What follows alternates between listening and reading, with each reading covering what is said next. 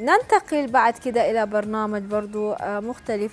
تحياتي وتقديري ومحبتي الكبيرة للزميلة ميرفت حسين اللي بتهتم أيضا بإظهار الجانب الكروي بشكل مختلف ومميز تسليط الضوء على المهتمين في هذا الجانب والأثمر أيضا في المجال الرياضي. زمن إضافي إن شاء الله هيكون في اليوم الأول آه، بكرة بمشيئة الرحمن ميرفت حسين. نشوف الترويج. بيكم في زمن إضافي؟ آه، دايما بيقولوا في الزمن الإضافي بتظهر قدرات الشباب وهم اللي بيصنعوا الفارق.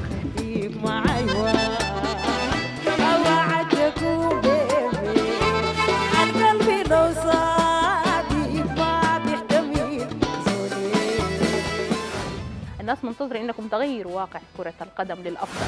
الأندية حاليا كلها في العالم بتتجه نحو إنه يكون في سيستم عالمي موحد.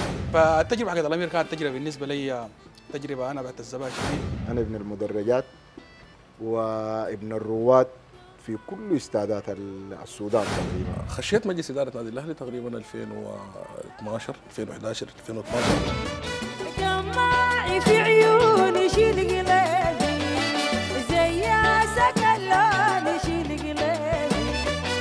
من هجر الليمون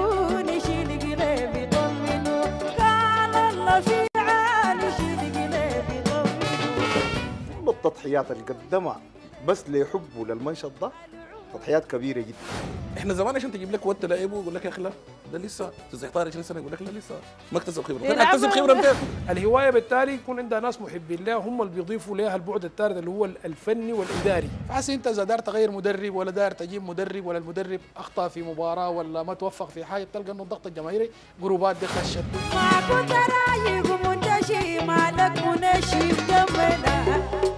I